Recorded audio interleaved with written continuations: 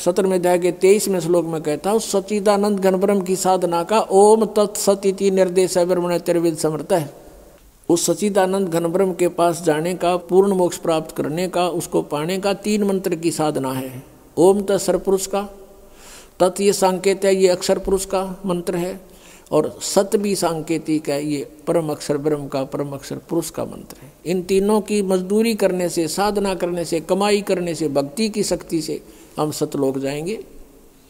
गीता जी अध्याय नंबर आठ के श्लोक नंबर पाँच और सात में गीता ज्ञानदाता कहता अर्जुन, यदि मेरी शरण में रहना है तो युद्ध भी करना पड़ेगा और भजन भी कर। मुझे प्राप्त होगा नो डाउट अब अपने प्राप्ति बता रहा है कि मेरी भी प्राप्ति होगी इस ओम मंत्र से ओनली वन मंत्र आठवें जाएँगे तेरहवें श्लोक में। और कहता युद्ध भी करना पड़ेगा, यहाँ शांति नाम की चीज़ नहीं। परम शांति चाहिए तो उसकी शरण में जा। आठवें अध्याय के आठ, नौ, दस, तीन मंत्रों में कंटिन्यूस बताया है कि उस सचिदानंद घन ब्रह्म की जो साधना करता है, उस तत्वदर्शी संत के बताए अनुसार उस मंत्र से। तो भक्ति की शक्ति से, यानी उस मंत्र के जाप की कमाई से उस परमेश्वर के पास चला जाएगा। अपने आत्मा हमने भक्ति करनी है, है तो या क्यों ना करें? वो डले क्यों? डोवा जो असंग जन्म हो गया हमने डोत्या ने। तो इसलिए गीता ज्ञानदाता कहता है कि तू सर्वभाव से उस परमेश्वर की शरण में जा। और अठारहवें अध्याय के छसठवें श्लोक में इन अनुवादकर्ताओं ने यहाँ भी अनर्थ कर रखे हैं। व्रज का अर्थ जाना होता है इन्होंने आना लिखा है। क्योंकि ये श्री कृष्ण जी को सुप्रीम पावर मान के और तब इसका गीता जी का अनुवाद किया। जबकि श्री कृष्ण जी तो विष्णु अवतार थे, ये सतोगुण भगवान हैं और ब्रह्म के पुत्र हैं। और मूल परमात्मा की भक्ति से यानी उससे ही हमें लाभ होगा। उसका अर्थ ये बनता है कि सर्वधर्मान परितज माम मेरे सतर की, ब्रह्म सतर की जो ओम की पूजा, उस तीन मंत्र के जाप में, ओम तत्सत में, वो मुझे छोड़ दे।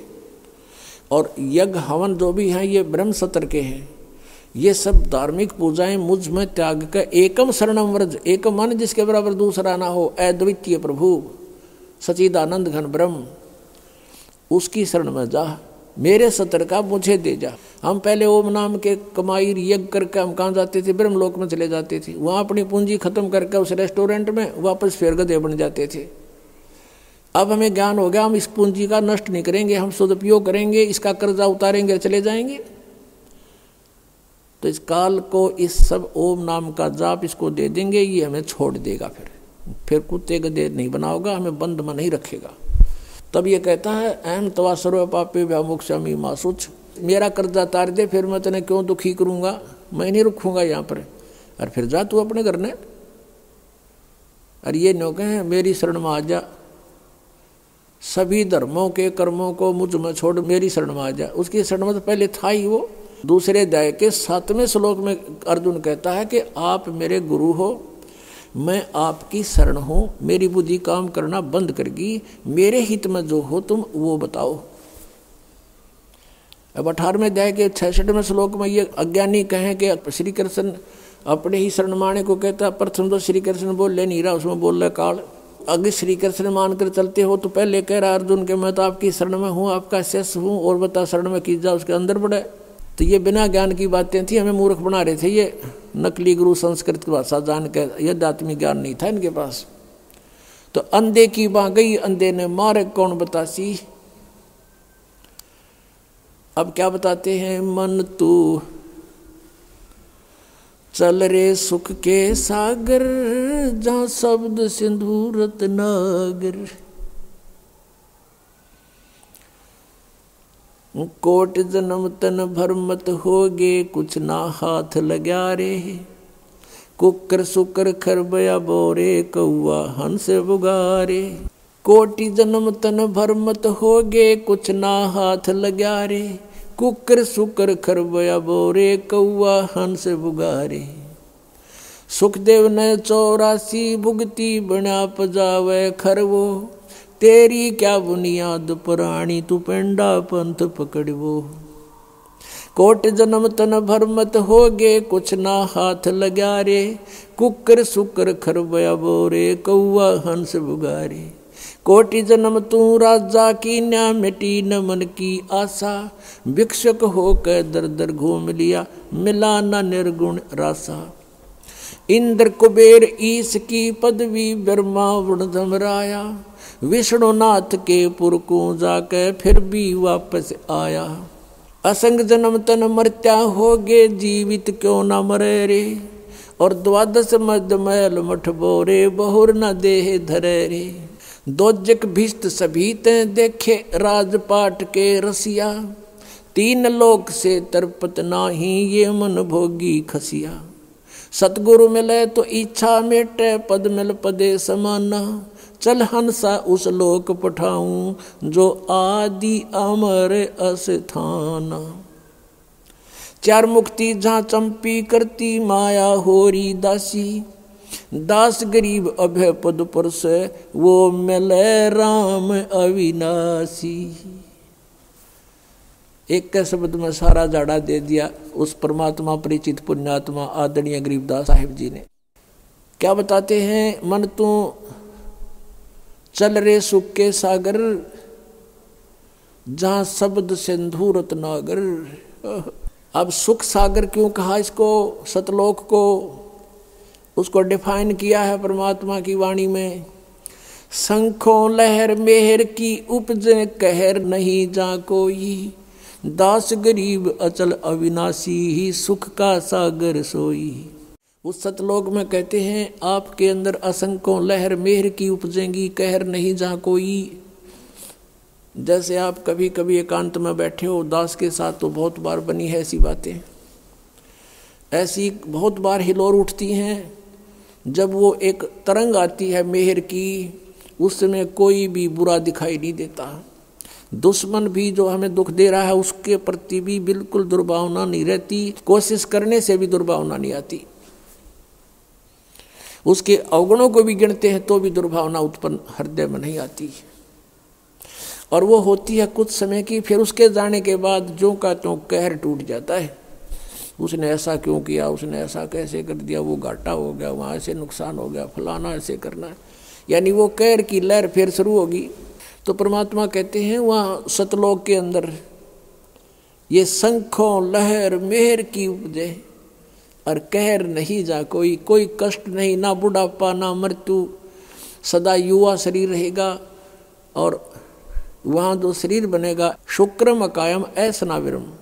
वो इस नाड़ियों के जोड़ से नहीं बनेगा, वहाँ शरीर हमारा श्वास से नहीं चलेगा। वो एक तत्व से बनता है।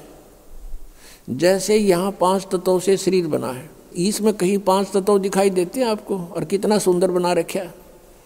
और बिल्कुल पाँच तत्वों का मेल है, इसका योग कैसे बनाया? जैसे अन्न गया, अन्न खाया, अन्न से फिर शक्ति बनी, शक्ति से फिर शरीर बना, उसका ऐसा प्रारूप बदल कर ऐसा बना दिया। ऐसे वहाँ एक तत्व से, नूर तत्व से हम सभी का शरीर बनेगा।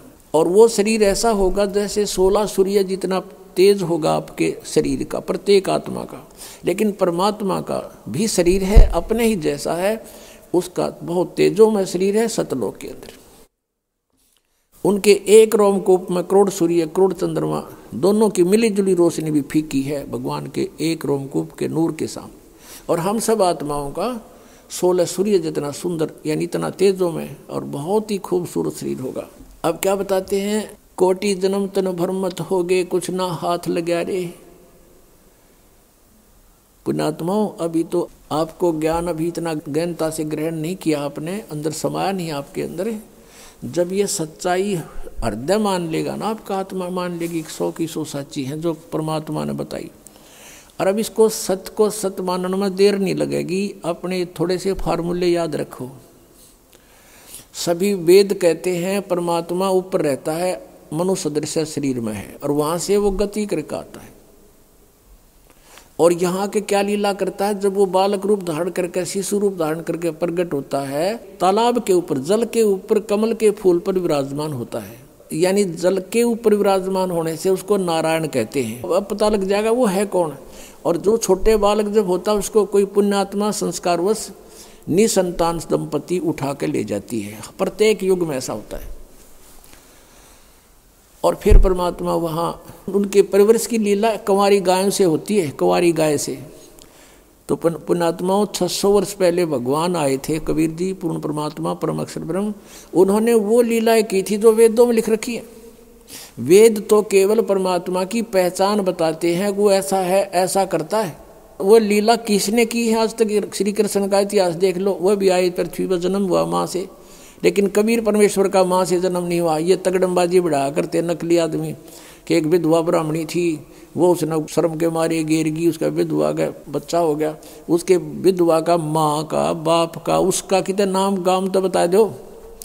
है सट्टे मारे, मूर्ख बना रखा था हमारे को, सारी झूठ बोल रखी थी भगवान को, कौड़ी सिद्ध कर दिया और कौड़ियों को लाल बता रखा था। और वो कंवारी गायों से दूध पीता है। वो कंवारी गायें दूध देती हैं। तो ये लीला परमेश्वर कबीर जी ने की थी और आज तक किसी ने करी बता दो। और किसी का नो प्रमाण ऊपर तो चलकाया और सह शरीर चला गया वापस, एक दिखा दो, जिनको हम भगवान मानते थे। राम श्री कृष्ण का दिखा दो। तो कहने का भाव, पुण्यात्मा, हम भगवान को पहचान नहीं सके, क्योंकि जिनको हम गुरु मानने थे वो अंधे थे, ज्ञान नेत्रहीन थे वो। कहते, मोती मुक्ता दर्शत नाही, यो जग है सब अंदरे। दिखत के तो नैण चसम इनका फिरा मोतिया बंदरे। किसी को मोतिया बिंद हो जाता है, उसकी आँखें स्वस्थ दिखाई देती हैं, और उसने दिखता कते नहीं, नपट अंधा होता है ब्लाइंड मैन होता है वो। तो इसी प्रकार ये ज्ञान नेत्रहीन थे और दिखे थे चतुर क्योंकि संस्कृत जाने थे। एक भाषा के जान लेने से उसमें लिखे हुए गुड़ रहस्य को नहीं समझा जा सकता। अब हम हिंदी जानते हैं। मान ले किसी फॉरनर ने आके हिंदी सीख ली और इसको तुलसीदास करित रामायण को ले गया वहाँ पर अपने देश में। और उसने अक्षर पैर का पता नहीं, राम कौन था, रावण कौन था, सीता कौन थी कुंभकर्ण कौन था और भाई विभीषण कौन था। तो उन्हें पता नहीं कि के अटके बट मारेगा, एक ईदी के जान लेने से उस कथा को वो कैसे सुलझा सकता है, जो चौपाइयों में लिखी है। ऐसे ही वेद और ग्रंथ और पुराण और गीता जी। ये परमात्मा की महिमा से परिपूर्ण है। संस्कृत के जान लेने से कोई नहीं समझ सकता जब तक ये मौखिक कथा रामायण वाली की तरह सृष्टि रचना का जिसको ज्ञान नहीं होगा। और वो सृष्टि रचना खुद रचने वाला ही बता सकता ठीक ठीक। अभी तक तगड़मबाजी बढ़ा रहे थे। अब प्रसंग जो आ रहा है, वहीं पर आते हैं। क्या बताते हैं? कि कोट जन्म तन भरमत हो गए कुछ ना हाथ लगा। रे और कुकर सुकर खरबा बोरे कौआ हंस बुगारे अब परमात्मा को पहचानना एक इतना आसान हो गया। एक तो ये पहचानना है कि सारे वेद बतावें चारों वेदों को तो हम कति फाइनल मान रहे हैं, अब भी कोई उसको न्यू कहे मैं नहीं मानता वेदों को, वो तो फिर भक्ति योग प्राणी है नहीं।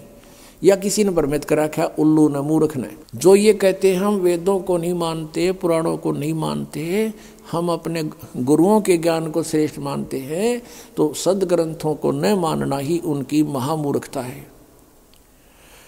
और कबीर जी की वाणी भी सदग्रंथ है। वो सब ग्रंथों का ग्रंथ है, यानी उसमें ऑल इन वन है, नो समझ लो।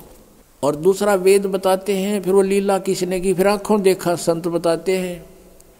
हम सुल्तानी नानक तारे दादू को उपदेश दिया। जात जुलाहा भेद न पाया, वो का सीमा कबीर हुआ। आदरणीय गरीबदास साहिब जी बता रहे हैं, उनको भगवान मिले थे, जिनको वो आकर मिलते हैं अच्छी आत्मा दृढ़ भक्तों को। उनमें से एक आदरणीय नानक साहिब जी हैं, वो कहते हैं, फाई सूरत मलोकी वेश, ए ठगवाड़ा ठगी देश खराब सियाणा भोता भार ये धानक रूप रहा करतार।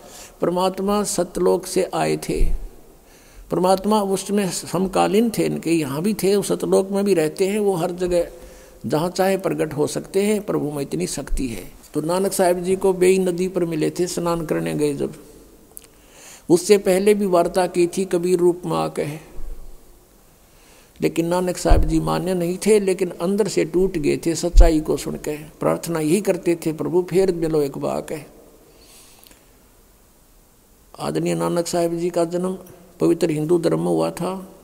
ये कालूराम मेहता खत्री अरोड़ा के घर इनका जन्म था और इनके पिताजी जो है पटवारी थे उस समय। और ये अच्छी आत्मा थी। फिर ये इन्होंने एक अपनी बहन के नगर में जहाँ उनकी बहन ब्याह रखी थी। सुल्तानपुर शहर में अपने बेनोई की सिफारश से वहाँ के सुल्तानपुर के नवाब के यहाँ नौकरी करते थे मोदी खाने में। तो स्नान करने के लिए बेई नदी पर जाते थे। पहले परमात्मा कबीर जी उनसे मिले, चर्चा की और बताया कि मैं कबीर हूँ और छोटी जाति का धारणक हूँ, काशी में रहता हूँ और मैं ज्ञान की तलाश में घूम रहा हूँ। तो नानक साहिब जी ने बताया कि श्री कृष्ण जी, श्री विष्णु जी सर्वशक्तिमान हैं, ये परम शक्ति हैं। गीता में इसी का वर्णन किया गया है। यानी जैसा भी उन्होंने श्री नानक देव जी ने ब्रजलाल पांडे से गीता पढ़ा करते थे, जैसा भी ऐसे इन गुरुओं ने हमें ज्ञान दे रखा था, उसी आधार से नानक जी ने बहुत अपना सुनाया कि ऐसे है श्री कृष्ण सर्वेश्वर हैं, सर्वशक्तिमान हैं, इन्हीं की भक्ति से मोक्ष होगा। तो परमात्मा ने उनसे सात श्लोकों के उत्तर पूछे थे नानक साहब जी से। एक तो ये पूछा था कि यदि श्री कृष्ण जी सर्वशक्तिमान हैं चौथे अध्याय के पाँचवें और नौवें श्लोक में, दूसरे अध्याय के बारहवें श्लोक में, दसवें अध्याय के दूसरे श्लोक में कहता मेरी तो जन्म मृत्यु होते अठारहवें अध्याय के बैसठवें श्लोक में ये किसको, किसकी शरण में जाने को कह रहे हैं, पूछना आपके ब्रजलाल पांडे से। सातवें अध्याय के अठारहवें श्लोक में अपनी गति को अनुतम कह रहे हैं। उत्तम पुरुष है, तू अन्य वो कौन है? चौथे अध्याय के चौंतीसवें श्लोक में कहा कि तत्व ज्ञान तो कोई और है, ये गीता वाला ज्ञान तत्व ज्ञान ने उसको संत बतावेंगे। इन बातों को कह करके नानक साहब जी नाराज़ हो गए, ये सुनकर। लेकिन रात्रि के समय करवट बदलते रहे कि सचमुच बात तो सारी साची है। नानक साहब भी पढ़े हुए थे, हिंदी भी पढ़े थे, फारसी भी पढ़े थे। उन्होंने गीता जी को देखा, एक आध ब्राह्मण से बात करी, किसी के पास उत्तर नहीं था तो ऊपर से तो वो कबीर जी को धमका कर आगे थे कि तू गलत बोलता है तो मुसलमान दिखाई देता है। तो परमात्मा चले गए थे उस टाइम कुछ दिनों के बाद उसको ऐसी कसक लगी, नानक जी को अंदर से रोने लगे, तड़पते थे, एक बार फिर मिले महाराज, फिर बात करेंगे, वो फिर दोबारा फिर मिल गए पंद्रह बीस दिन के बाद। उस समय केवल नानक जी को दिखाई दे रहे थे, अन्य को नहीं। कुछ देर बात हुई थी, फिर नानक जी ने, क्योंकि वो मन नहीं टकता जल्दी सी, उन्होंने कहा था कि मैं इस दरिया में छलांग लगाऊँगा, मुझे ढूंढ देना। नानक साहब जी ने दरिया में छलांग लगा दी, परमात्मा ने उनको गुप्त किया वहाँ से, और पीछे जाकर तीन किलोमीटर पीछे को, जहाँ से अप स्ट्रीम में ले गए, जिधर से पानी बहता रहा था। और वहाँ उनका शरीर एकांत स्थान पर रख दिया। आत्मा को लेकर सचखंड गए। सचखंड में देखा, कबीर परमेश्वर दो ज़िंदा महात्मा के रूप में वहाँ उनको मिले थे। उसी रूप में ऊपर सतलोक में पहुँचे और परमात्मा सतपुरुष बैठे थे तकत के ऊपर ऑल ओवर कंट्रोलर की चेयर पर उस सिंहासन पर। तो नानक साहब ने सोचा कि परमात्मा यू है सतपुरुष सतपुरुष ये है, सामने बैठे सिंहासन पर। और कबीर जी एक सिंपल बेस में ज़िंदा महात्मा के रूप में, साधु के रूप में। और ये यहाँ का नौकर होगा कोई कबीर तो नानक जी ने सोचा। अब उस समय तक परमात्मा ने ये डिस्क्लोज नहीं किया। जब पहले रूप में मिले थे, जब तो कबीर रूप में मिले थे, दोबारा जब आए ज़िंदा महात्मा का रूप बना कर आगे। शरीर दूसरा था। चेहरा नहीं मिल रहा था। बनारस वाले से। फिर उनको लेकर गए ऊपर। ऊपर जाकर क्या देखा? कबीर जी जो ज़िंदा महात्मा के रूप में गए थे और दूसरा उन्हीं का रूप बैठा था। तेजो में, करोड़ सूर्य मिला दे करोड़ चंद्रमा, ऐसा एक रोमकूप की शोभा। उसके ऊपर चौर करने लगे कबीर साहब। नानक जी ने पक्का हो गया कि सतपुरुख अकाल पुरुख तो यू है। ये बैठा तख्त पर जेड़ा। ये नीचे से ये बाबा जी आया, महात्मा, ये इनका नौकर है। इतने में क्या हुआ? वो तेजो में शरीर वहाँ से उठा अपने सिंहासन से और कबीर जी नीचे से ज़िंदा महात्मा वाले रूप में गए थे, वो विराजमान हो गए। उस समय उस परमात्मा का वो रूप जो बना जब सिंहासन पर विराजमान हुए, जो अकाल मूर्त तेजो में शरीर वाला था, वो चवर करने लग गया। उस कबीर परमेश्वर ज़िंदा वाले, बाबा वाले, महात्मा वाले स्वरूप के ऊपर चवर करे, नौकर की तरह। उस समय परमात्मा का जो स्वरूप बन गया, वो कबीर जी वाला बन गया, जो दानक रूप में, जो लाहे रूप में बनारस में थे और जो पहले नानक जी को मिले थे। और वो तेजों में शरीर जो था, कबीर जी के ज़िंदा महात्मा वाले शरीर में समा गया। अलग कोई नहीं रहा only one only one god है। एक परमात्मा कबीर जी विद्यमान थे, बनारस वाले धानक। ऑल ओवर कंट्रोलर की तकत पर, सिंहासन पर। अब नानक साहब से कहा कि जाए, तीसरा दिन हो गया, इस तरह परमात्मा ने सारे ब्रह्मांड दिखाए, ब्रह्मा, विष्णु, महेश दिखाए, उनकी रचना बताई, कैसे इनका जन्म हुआ। अब परमेश्वर ने कहा कि अब जाओ प्यारी आत्मा, अब उन भोली आत्माओं को समझाओ जो काल के जाल में फंसी पड़ी है। अब वहाँ जाकर के प्रत्येक आत्मा ये चाहती है, मैं वापस ना जाऊँ। उस गंदे लोक में नानक जी ने प्रार्थना की। लेकिन परमात्मा ने कहा, आप जाओ, आपकी आवश्यकता है वहाँ पर। मेरे गवाह बनोगे, लेकिन ऐसे नहीं मैं रख सकता। आपको ये भक्ति करनी पड़ेगी सतनाम की। और सतनाम बिना मोक्ष नहीं हो सकता। ये दो अक्षर का नाम है, यानी पूरा ज्ञान उनके अंदर फ़ीड कर दिया। अब उधर से नानक जी को मर्त जान करके डूब गया दरिया में, उसकी खोज शुरू होगी। नवाब ने भी खोज शुरू कर दी, गोताखोर लगा दिए, जाल डाल रहे हैं इधर इधर डाउन स्ट्रीम में। और नानक जी का शरीर रखा तीन चार किलोमीटर अप स्ट्रीम में, जंगल में। तीसरे दिन वो आत्मा वापस भेज दी भगवान ने उस शरीर में। नानक जी वहाँ से उठकर सुबह सुबह फिर उसी दरिया पर आकर खड़े हो गए, जहाँ लोग स्नान करने जाते थे और वो भी जाया करते थे। कहाँ तो हाहाकार मची हुई थी और मर गया, डूब गया, मर गया, डूब गया, उधर क्या देखा वो तो सामने खड़ा है। सारा शहर उमड़ गया देखने के लिए। तब नवाब की नौकरी त्याग दी और कहा कि अब सच्ची सरकार की नौकरी करेंगे। तो फिर वो इस खोज में परमात्मा ने कहा था कि मैं बनारस में हूँ, काशी में, और वहाँ आ जाना सतनाम दूँगा, और सतनाम बिना मोक्ष नहीं, और वो काल का लोग। तो सतनाम प्राप्ति के लिए और नानक जी ने वाहे गुरु वाहे गुरु कहा था कि वाहे गुरु जब अकेले रह गए ना तकत पे, कबीर जी सतलोक में। और दूसरा रहा नहीं, भगवान जब ने कहा था वाहे गुरु वाहे गुरु सही रास्ता दिखा दिया। और स्वयं भगवान वाहे गुरु वाहे गुरु वो नीचे आ गया। नीचे आकर उसके मन मरट लगी कि वो ही गुरु मिला जो सतनाम दे। और ये सात श्लोक जो परमात्मा ने प्रसन्न किए थे, नानक जी ने, ये सात श्लोक उसने नोट कर लिए।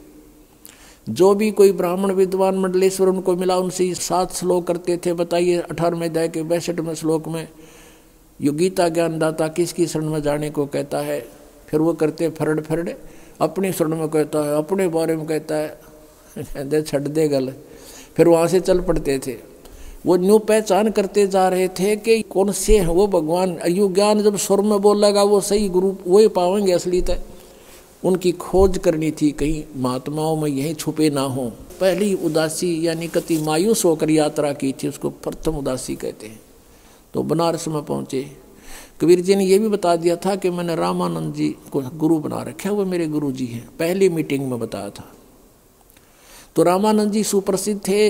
रामानंद जी के आश्रम में पहुँचे। वहाँ उनसे प्रसन्न किया कि ऐसे ऐसे गीता में लिखा है, क्या आप जानते हो? रामानंद जी महात्मा थे, वो सच्ची बोला करते कहने लगे, भाई, आजा बैठ जा सरदार जी। आजा बच्चा, मैं जानता नहीं था, लेकिन अब जान गया हूँ। मैं नहीं जानता था, मैं विद्वान पाक रहा था, लेकिन मुझे कख का पता नहीं था। वैसे तो वो मेरे को उन्होंने वचन दे दिया, वो भगवान है, परमात्मा है अब मालिक हैं, सतपुरुष हैं। और मेरे को उन्होंने अपनी सतीति ऊपर दिखा दी सारी, लेकिन उनकी आज्ञा का मैं पालन कर रहा हूँ। वो मेरे शिष्य नहीं है, मेरे गुरु हैं। लेकिन मर्यादावत उन्होंने कहा कि मुझे आप अपना शिष्य ही मानोगे। वो मेरे शिष्य कहो, मेरे गुरु कहो। और भाई, उस कबीर जी ने मुझे यो ज्ञान बताया है। तो नानक जी ने कहा, कहाँ मिलेंगे वो? कि अभी आएँगे शाम को यहाँ पर? नानक जी ने सोचा, इतनी देर कौन डट्टा भगवान पृथ्वी पे और हमने उसके लिए खोज के लिए सिर दे रखा। कहने लगे, महाराज, मुझे एक रास्ता बता दो। कहाँ है वो? कि वो अपनी झोपड़ी में होंगे? एक सेवक भेज दिया कि जाओ, झोंपड़ी पर छोड़ अब जाकर देखा उस परमात्मा को खड्डी में कपड़े बुने दानक का काम करें थे। उन ठानी जानते पता था आव एक आत्मा प्यारी।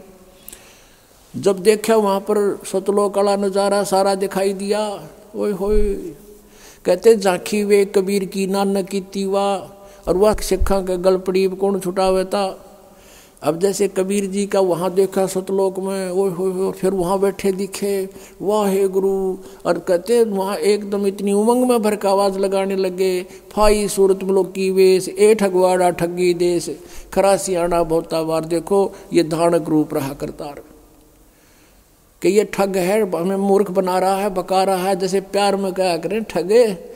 और आख्या में पानी पर रखा। सारे जुलाए इकट्ठे हो गए वहाँ के। कहते हैं, ये भगवान है, परमात्मा ये है, पूर्ण ब्रह्म है।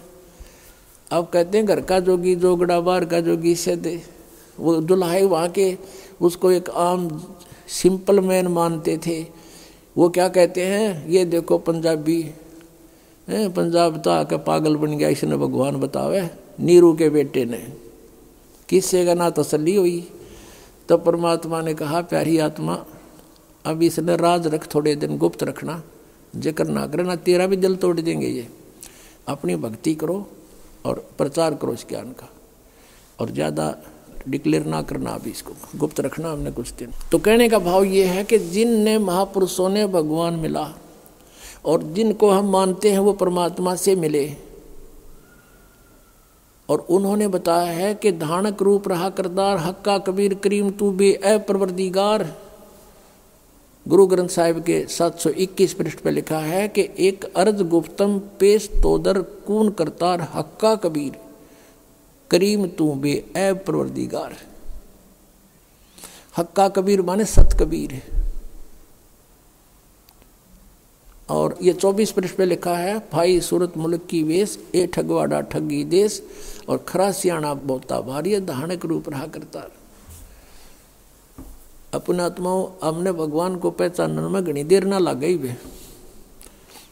हम अज्ञान में कितने आट रखे इन्होंने, लेकिन परमात्मा का ये तत्व ज्ञान ऐसा है, और ज्ञान सब ज्ञानड़ी, कबीर ज्ञान सो ज्ञान।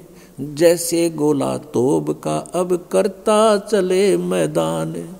तारा मंडल बैठे करिए चाँद बड़ाई खावे। उदय भया जब सूरज का स्यों तारों छुप जावे। ये नकली संत और ये छोटे मोटे ज्ञानड़ी कहते हैं, जैसे चंद्रमा रात्रि के समय तारों में बहुत अच्छा तेजों में और प्रसिद्ध यानी बड़ा चमकता है। मुखिया पाक रहा होता है, सूर्य उदय होने के बाद कहते, चाँद भी ना दिखता, सितारे भी विद्यमान होते हैं, उनका कोई अस्तित्व नहीं रहता। ऐसे ही कबीर परमेश्वर की महिमा से हम परिचित हो जाएँगे, फिर अन्य भगवान इन चाँद और सितारों की तरह ऐसे निष्क्रिय हो जाएँगे, इनका अस्तित्व तो नहीं दिखाई देगा। हमारे को तो क्या बताते हैं? अंधे की बाँ गई अंधे ने मार्ग कौन बतासी? और आदनी गरीबदास साहिब जी कहते हैं, मोती मुक्ता दर्शत नाई, ये जगह सब अंधरे मोती मुक्ता मुक्ता माने मुक्त होने के ये मोती, हीरे, लाल, असली भक्ति रूपी मोतियों का इनको ज्ञान नहीं, लाल का ज्ञान नहीं सार नाम सतनाम का। और ये कंगाल बन गए, कौड़ी को लाल जानकर, आन उपासना करके, अन्य देवताओं की पूजा करके ये कंगाल हो गए।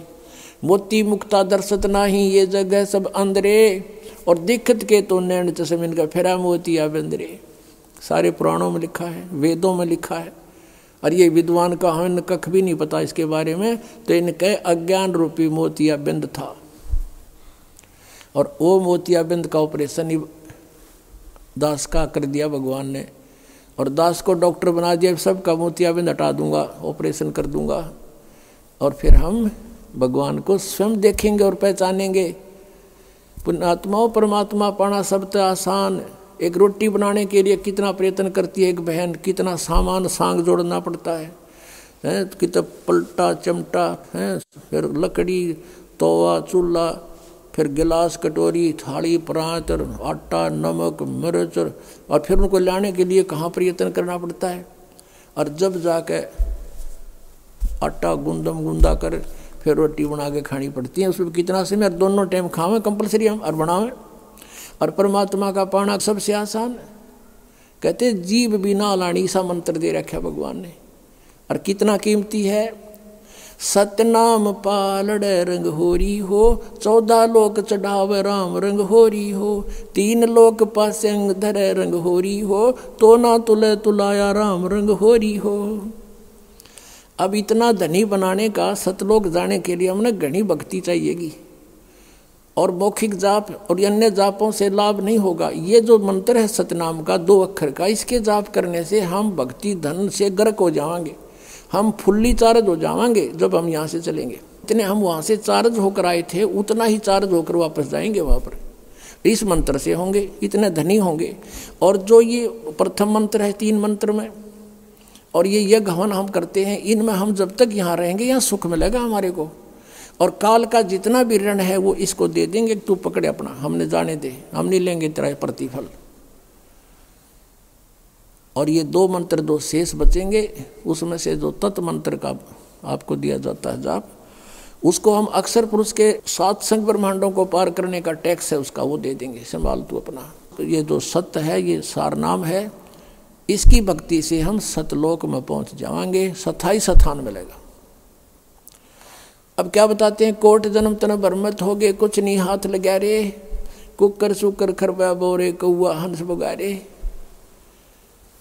कोटि जन्म तू राजा की ना मिटी, न मन की आशा, भिक्षकों का दर दर गुम्या मिला ना निर्गुण रासा आदरणीय गरीबदास साहिब जी की, परमेश्वर कबीर साहिब जी ने दिव्य दृष्टि खोल रखी थी। उन्होंने आज से अरबों खरबों पहले की सारी घटनाएँ एजिटी चित्रित कर रखी हैं। और उनको वो घटनाएँ चलचित्र की तरह दिखाई देती थी। गरीबदास साहिब जी ने बताया है कि ये नानक साहिब जी जो थे, ये सतयुग में राजा अम्बरीश थे, यही आत्मा। और इतने पुण्यात्मा थे, इतने धर्मात्मा थे, और इतनी सत भक्ति करते थे, विष्णु जी को इष्ट मानकर, दुर्वासा जैसे सिद्ध पुरुष ने भी इनके दरबार में फिट्टे मुँह होना पड़ा था। उसके बाद वही आत्मा फिर त्रेता युग में राजा जनक रूप में जन्म हुआ। राजा थे वो और नौकर सैकड़ों, लाखों की संख्या में सैनिक उसके नौकर थे। और वही आत्मा फिर पुनों को स्वर्ग में नाश करके बहुत यज्ञ किया करते थे राजा जनक। उनको नष्ट करके कलयुग के अंदर कालू राम मेहता के घर पे एक सिंपल मैन के घर जन्म हुआ, क्योंकि वो सब पुण्य खत्म हुए। और फिर नौकरी कर रहे एक नवाब के घर पे आप ही। और पहले उनके लाखों नौकर होते थे तो काल का ये जाल ऐसा है, जब नानक साहिब जी को अपने पिछले जन्म दिखाए परमात्मा ने कि आप राजा थे, राजा जनक भी आप थे, और अब आप क्या हो? पेटा भर गया उस पुण्यात्मा का भगवान देखकर। इनको कहते हैं, जो दृढ़ भक्त होते हैं, उनको भगवान मिलते हैं। उस दिन के बाद फैसला कर लिया पूरा हिंदू समाज नानक साहब जी के पिता भी विरोधी हो गए थे कि के पैदा हो गया हमारे देवताओं ने बुरा बतावे और सब ब्राह्मण विरोधी हो गए थे कि ये पागल हो गया, इसका पता नहीं क्या हो गया, ये सब उल्ट सुलट बोल रहा है। तो इस प्रकार पुण्यात्माओं, अब क्या बताते हैं? कोट जन्म तन ब्रह्मत हो गए और यदि परमात्मा ना मिलते हुआ प्यारी आत्मा अगले जन्म में चौरासी लाख योनियों में जाती। कोट जन्म तन भ्रमत हो गए कुछ ना हाथ लगा रे कुकर सुकर खरबा बोरे कौआ हंस बगारे कोट जन्म तू राजा की ना, और मिट्टी न मन की आशा। भिक्षकों के दर दर गुम्या मिला ना निर्गुण रासा आप ऐसे साधक भी रह चुके हो। घर त्याग गए, नगर से एक सुक्की रोटियाँ मांग लेगी। दो रोटी खाई, चार खाई, बाकी कपड़े में बाँध कर वृक्ष के बाँध दी सूख गई। एक दिन भूखा रहे, अगले दिन उन्हीं को भिगो कर खा लिया। यानी तीन दिन का काम चला लिया, एक दिन की भिक्षातें और खूब घोर तपस्याएँ की, साधनाएँ की, अन्य नामों की, अन्य साधनाएँ की। उनसे क्या हुआ? तप से राज राज मदमानम और जन्म तीसरे शुक्र सवानम। कहते हैं, इंद्र कुबेर ईश की पदवी इंद्र की पदवी प्राप्त कर ली, ऐसी साधनाएँ करके तूने। और इंद्र का कितना समय होता है? बेहतर चतुर्युगी। बेहतर चतुर्युग तक वो शासन करता है ऊपर, बेहतर चतुर्युग तक। और उसके बाद उसके दौरान इंद्र को एक हिदायत होती है इंस्ट्रक्शन होती है, एक कंडीशन होती है कि तेरे शासन काल में और यदि कोई इंद्र की पदवी प्राप्त करने योग्य तपस्या, धर्म और यज्ञ कर लेगा तो तुझे बीच में ही तेरा शासन छीन लिया जाएगा और उसको इस पद पर विराजमान किया जाएगा। इंद्र को यह चिंता रहती है और उसके लिए फिर वो सतर्क रहता है। उसने अपने एजेंट छोड़ रखे होते हैं कि कोई मेरे शासन काल में और मेरी गद्दी प्राप्त करने योग्य कोई ऐसा धर्मपूर्ण तप ना कर ले, यज्ञ ना कर ले। एक मारकंडे ऋषि थे बंगाल की खाड़ी में, तपस्या कर रहे थे। इंद्र को पता लग गया। उसने एक अप्सरा भेजी, उर्वशी अपने इंद्र के लोग थे स्वर्ग लोग थे और बहुत सुंदर, खूबसूरत सारे उसको सिद्धि दे दी। उस मार्कंडे ऋषि के आसपास आठ सात किलोमीटर माँ गए। एक बसंत जैसा माहौल तैयार कर दिया। ना गर्मी, ना सर्दी, महक छोड़ दी अपनी सिद्धि थे और अपने आप सारंगीर ये सब साजबाज अपने आप बजने लगे और वो मार्कंडे ऋषि के सामने खड़ी होकर नाचन लगी। डांस करने लगी। करती रही डांस और मार्कंडे ऋषि में कोई गतिविधि नहीं हुई, जैसा वो चाहती थी। आखिर में वो नी वस्त्र होगी, कमर का नाड़ा तोड़ दिया। जब कति नंगी होगी, संत ने ऋषि ने कहा, है बेटी, हे माई, ये क्या कर रही है तू? यहाँ किस लिए आई तू? तो शर्मिंदा होकर के वस्त्र पहन कर कहने लगी, हे मारकंडे ऋषि, मेरे को देखकर इस बनखंड में जितने भी तपस्वी थे सब डामाडोल हो गए, इनका तो दीर धर्म नष्ट हो लिया। और तुम पता नहीं कहाँ तुम्हारी समाधि थी। तुम जानो और उसने कहा मारकंडे ने कि मेरी जहाँ समाधि थी, वहाँ तेरे जैसी तो नाचने वालियों की साथ साथ बांधी थी, नौकरानी थी। वो कितनी खूबसूरत होंगी, जहाँ मैं देख रहा था डांस। तेरे तो कोई सुथरी हो ना, उसने भेज, कोई तेरे से सुंदर हो। तब उसने कहा कि मैं इंद्रलोक में सबसे सुंदर मैं ही हूँ। मैं इंद्र की पटरानी हूँ और आप एक बार इंद्रलोक में चलो, नहीं तो मेरी मज़ाक करेंगे। मुझे दुहागन कर देगा इंद्र नो कहेगा, तू आर कर आगी, मुझे सजा मिलेगी। अपनात्माओं, जैसे हम हठ योग का जो ध्यान करते हैं ना, ये कति अज्ञानता है। ढाई घंटे सुबह, ढाई घंटे शाम, ये तो बात तो कुछ को ना। ये तो बकवाद से मेरी। हज़ारों वर्ष, सैकड़ों वर्ष सारा सारा दिन साधना करते थे मेडिटेशन लगाते थे। मेडिटेशन के वैसे होता है, जैसे आप फ़िल्म देखने जाते हो, तीन घंटे जाते थे। अब तो नहीं जाओगे, ना जाते हो।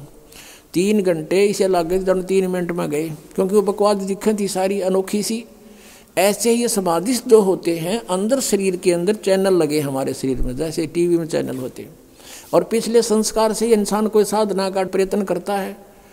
तो उसका कोई जब समाधिस्थ होने का हठयोग करता है तो कोई चैनल ऑन हो जाता है। यानी हम अंदर कमल हैं, वो कोई सा कमल खुल जाता है उसके पिछले संस्कार से। और फिर उसमें प्रवेश कर जाता है।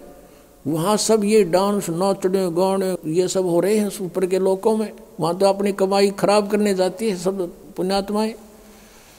तो ये मन आप कहीं बैठ कर देखना, दस मिनट भी भक्ति ना करने दे। जब मैं सौ सोचा, चल वहाँ चलते हैं नो करते हैं। कहीं बस की इंतज़ार करती है ना, और बस स्टैंड पर बैठ जा, दस बैठा होगा, देखिए कि छियाली।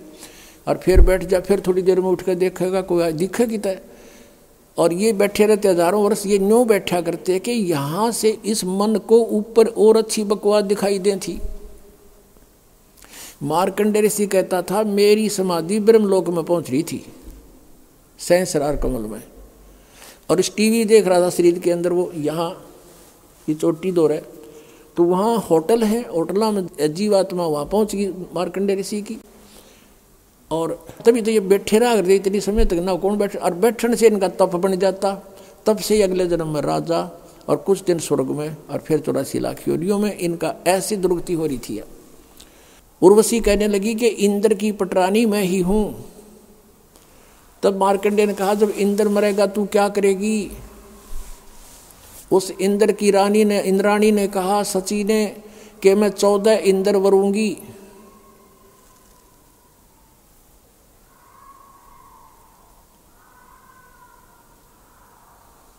ये भूत मारा किल की ये पहला करके साधना गलत है। अरे अब ये सही कह गया बिरान माटी तो न्यू है जो महाराज जी बता रहे हैं। प्रिय जब है जब सारा काम बिगड़ ले है, लेकिन फिर बात क्या बने? फिर कोई यूज़ नहीं इसका। तो कहने का भाव ये है कि वो कहने लगी, देखो पुणात्माओं कितना गहरा ज्ञान दिया परमेश्वर ने। वो जो सची रूप में, इंद्र की पटराणी रूप में जो आत्मा है, उसने कभी जन्म जन्मांतर में कितने पुण्य करे? वो चौदह इंद्र मर जाएँगे और वो अकेली उनकी पटरानी बनी रहेगी उन्हें तो वहाँ सुख भोगण तो मतलब है, अपना आनंद लेना है। वहाँ इज़्ज़त बेजती कुछ नहीं है ऊपर के लोगों में। वो तो पटरानी बनी रहेगी। इंद्र मर गया, बेहतर चौकड़ी युग पूर्ण होते इंद्र मर जाएगा। और वो क्या बताती है कि कि जितने इंद्र मैं भोगूँगी, यानी वो तो अकेली रहेगी पत्नी उनकी, और चौदह इंद्र एक ब्रह्मा के एक दिन में एक हज़ार आठ चतुर्युग हैं और इंद्र का शासन काल बेहतर चतुर्युग का होता है तो चौदह इंद्र इसमें अपना शासन काल पूरा कर जाते हैं। एक हज़ार आठ चतुर्युग होता है वैसे लेकिन लंप संप इसको एक हज़ार चतुर्युग मानते हैं। तो वो क्या कहती है कि उसने इतनी अच्छी तपस्या, साधना, भक्ति, धन, धर्म कर रखा था कि एक हज़ार आठ चतुर्युग तक वो अकेली आनंद भोगती है। एज ए पटरानी यानी स्वर्ग लोक में। और चौदह इंद्र अपना शासन काल बेहतर चतुर्युगी पूरा करके मरते रहेंगे तो वो गधे बन जाते हैं। सटार्ट ही गधे की योनि से होता इंद्र का जो जीवन, चौरासी लाख योनियों में। अब क्या बताया है कि तू इंद्र मरेगा, जब क्या करेगी? ऋषि मारकंडे ने पूछा। इंद्राणी ने उत्तर दिया कि मैं चौदह इंद्र भोगूँगी। मार्कंडे ने कहा कि वो चौदह भी मरेंगे, जब के करेगी कि मैं तो गधी बनूँगी, और जितने इंद्र में भोगूँगी, वो गधे बनेंगे। फिर जिस लोक के राजा भी गधे बने और रानी भी गधी बने, फिर मुझे वहाँ क्यों ले जावे थी? न्यो बोली, अपनी इज़्ज़त रखन खातिर। ना तो वहाँ न्यो कहेंगे कि तू हार का आगी। अब मारकंडे ऋषि हास्य फिर न बोले रहे, तू आज भी गधी, चौदह खसम करेगी और मरे पाछे फिर खुद का गदी बनूँगी। बता तू भी इज़्ज़त की ठेकेदार नहीं हो रही, अब बिनो का बेजती होएगी। अरे थरा गजब हो इतने में इंद्र आ गया। इंद्र आ गया, कहा, हे बंद निवाज, इंद्र की गद्दी प्राप्त करो, तुम जीते हम हारे मारकंडे ऋषि कहने लगा, अरे रे, इंद्र क्या बोल रहा है? इंद्र की गद्दी तो मेरे लिए काग की बीट है। और बेटा, आजा मैं तुझे ब्रह्मलोक का रास्ता बता दूँ। वहाँ बड़ा सुख है, ब्रह्मलोक में इतना आनंद है, ये तो कुछ भी नहीं है।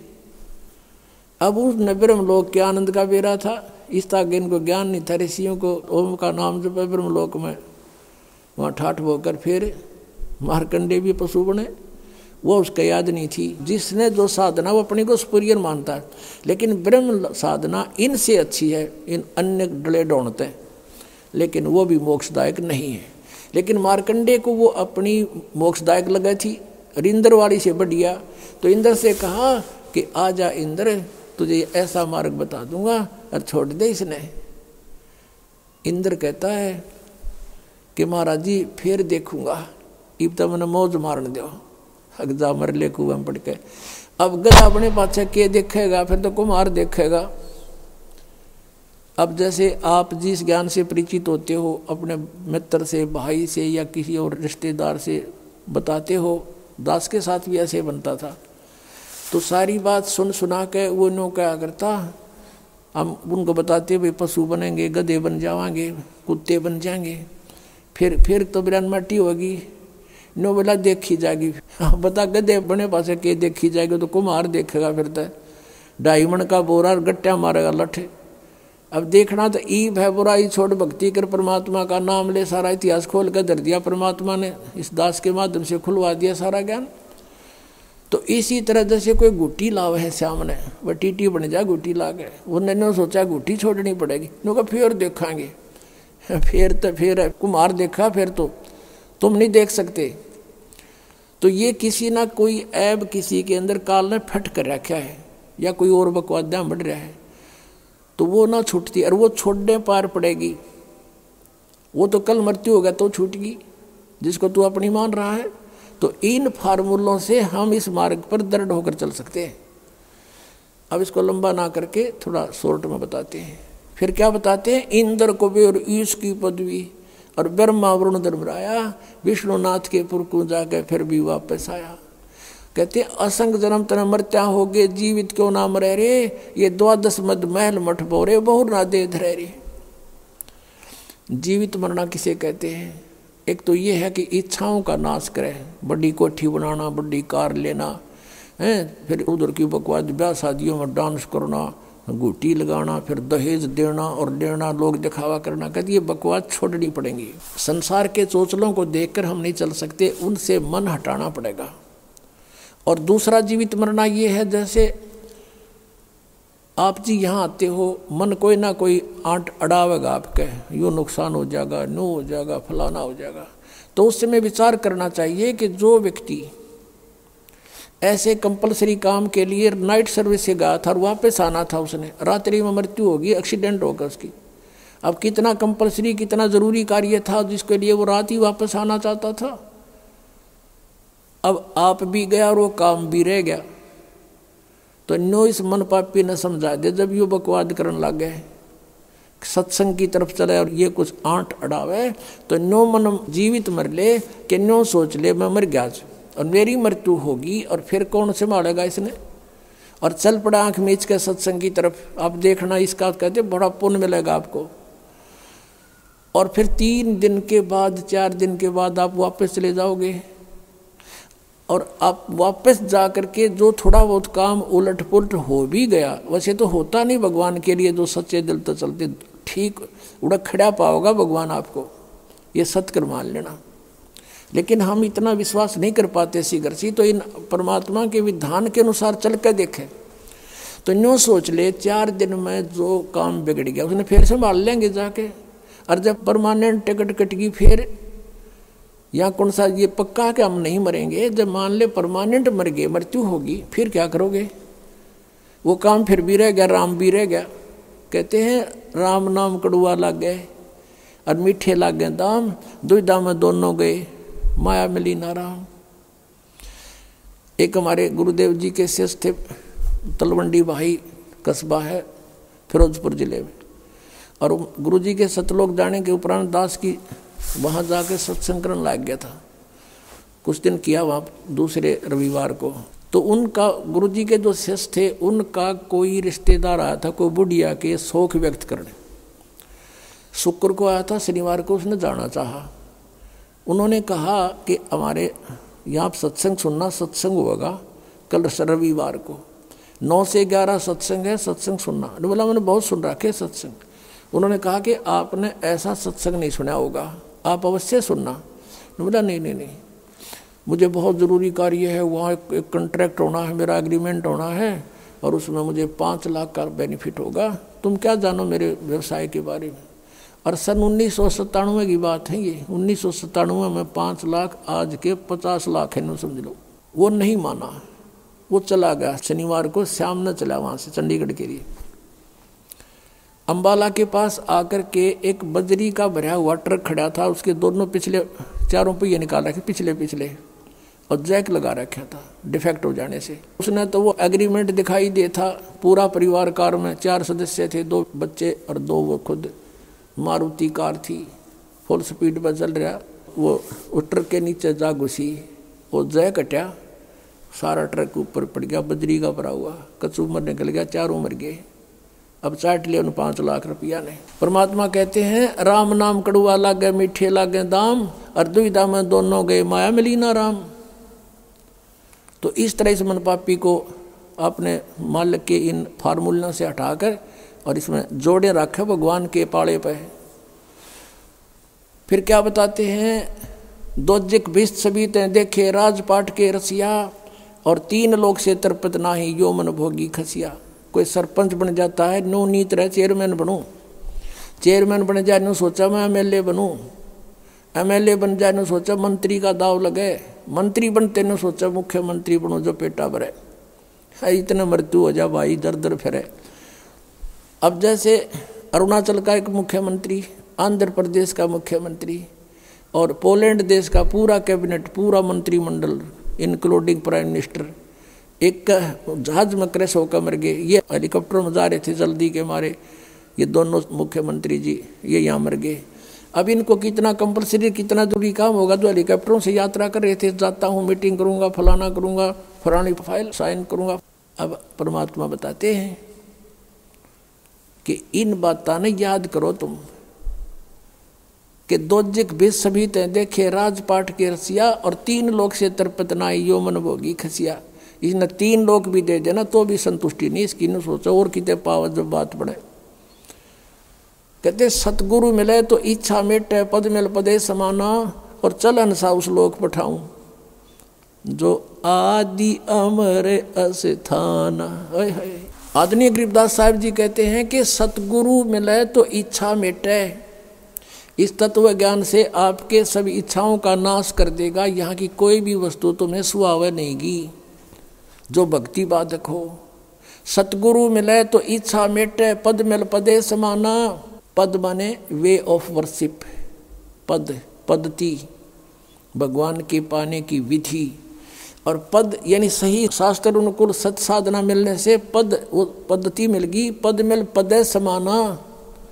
गीता जी नंबर पंद्रह के श्लोक नंबर चार में कहा कि तत्वदर्शी संत की प्राप्ति के पश्चात परमेश्वर के उस परम पद की खोज करनी चाहिए, जहाँ जाने के बाद साधक फिर लौटकर कभी वापस संसार में नहीं आता। यहाँ बता रहे हैं आदरणीय गरीबदास साहेब जी, के सतगुर मिले तो इच्छा मिट, पद मिल, पद समाना। सही साधना के मिलने से वो पद मिलेगा। अमर पद जहाँ जाने के बाद फिर लौट कर नहीं आते। और चल हंसा उस लोक पठाऊं, जो आदि अमर अस्थाना। अठारहवें अध्याय के गीता जी के बैसठवें श्लोक में कहा, अर्जुन, तू सर्वभाव से, उस परमेश्वर की शरण में जा, उसकी कृपा से तू परम शांति को और सनातन परम धाम को प्राप्त होगा। आदि अमर, आदि माने शाश्वत, सनातन, कदे का? चल हंसा उस लोक पठाऊं जो आदि अमर स्थान और वहाँ क्या सुख है? तुम यहाँ की जो सुख चौथी मुक्ति भी प्राप्त कर लेते हो, चारों मुक्ति भी प्राप्त कर ले हो तो भी एक दिन समाप्त होंगी तुम्हारी। तुम उसको परमानेंटली नहीं रख सकते। और वहाँ पर कहते, चार मुक्ति जहाँ चंपी करती, ये सुख तुम्हारे चरणों में सदा पड़ा रहेगा। और माया हो रही दासी दास गरीब अभय पद पर से वो मिले राम अविनाशी। होए। अब जहाँ से हम शुरू हुए थे कि जग सारा रो रे, जिन सतगुरु वैद न जाण्या, सग सारा रो गया रे। जन्म मरण का रोग लगा है, तृष्णा बडरी खांसी। आवागवन किया डोर गले में, पड़ी काल की फांसी, जग सारा रो गया रे। जिन सतगुरु वैद न जाण्या, जग सारा रो गया रे। फिर क्या बताते हैं, सार शब्द सर जीवन बूटी गैस गैस अंग लगावे। कहे कबीर, तुम सतकर मानो, ये जन्म मरण मिट जावे। सार शब्द सरजीवन बूटी घस घस अंग लगावे। कहे कबीर, तुम सतकर मानो, ये जन्म मरण मिट जावे। अब ये है वो पद ये तीनों मंत्र का जो जाप आपको मिलेगा और प्रथम ये सात मंत्र दिए जाते हैं। फिर सतनाम दो मंत्र का दिया जाता है। इससे क्या बताते हैं? चार मुक्ति जहाँ चंपी करती माया होरी दासी। दास गरीब अभय पद पर से वो मिले राम अविनाशी। वो परम अक्षर ब्रह्म। जैसे अक्षर पुरुष की आयु कितनी है? सत्तर हज़ार बार त्रिलोकी शिव मर जाएँगे जब एक युग होगा परब्रह्म का, अक्षर पुरुष का। और फिर एक हज़ार उसे बने हुए युग का दिन इतनी ही रात्रि, तीस दिन रात का महीना और बारह महीने का एक वर्ष। और सौ वर्ष की अक्सर पुरुष की आयु फिर भी मृत्यु। एती उम्र बुलंद मरेगा अंतरे, क्योंकि सतगुरु लगे न कान, न भेटे वो संतरे। चौथे जाए के चौंतीसवें श्लोक में जिन तत्वदर्शी संतों के बारे में कहा है कि तुम इतनी लंबी उम्र पाकर भी अंत में मृत्यु को प्राप्त होते हो, उसका कारण क्या है? क्योंकि सतगुरु में ले नव भेंटे संतरे। ऐसे संत भक्त नहीं मिले जो नो बताओ कि आज के दिन बरवाड़ा के अंदर है जो कुछ है। और वो सतगुरु की शरण नहीं लेने से कहते फिर, एती उम्र बुलंद, इतनी लंबी आयु होगी तो भी मृत्यु होगी, बिरान माटी जारी रहेगी। तो क्या बताते हैं, समझा है तो सिर दर पाओ और बौर नहीं रे ऐसा दाओ। बोलो, सतगुरुदेव।